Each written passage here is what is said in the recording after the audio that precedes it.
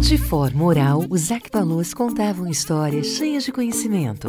Ensinar português é dar ao aluno o poder de conhecer e contar sua própria história.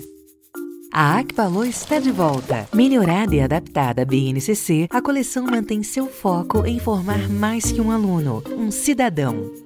Na Akbalu Português, o aprendizado é escrito de forma conjunta e é nas mãos do aluno que a aula tem início. Partindo dos conhecimentos da criança, o professor cria uma aprendizagem mais significativa, integrando o universo do aluno como base para a construção de novos saberes. E nesse caminho em busca da formação do leitor, a coleção passa por exercícios de oralidade, produção de texto, interpretação e leitura, além de explorar a literatura e seus textos diversos. Pensando na formação integral do aluno, a obra trabalha o desenvolvimento de habilidades, ao mesmo tempo que incentiva o senso crítico, a empatia e principalmente a comunicação.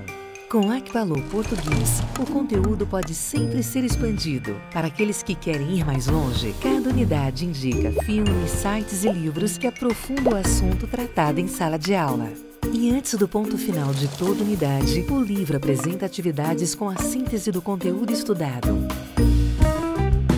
A educação mudou e a editora do Brasil quer contar essa nova história com você. Por isso, oferecemos para você um material complementar exclusivo com diversos recursos de apoio para a aplicação do livro em sala de aula.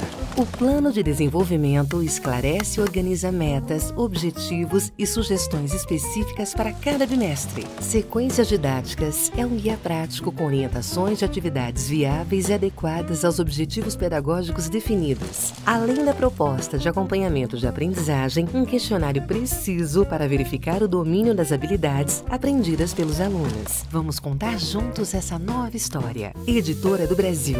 Nosso compromisso com a educação brasileira começa pelo nome.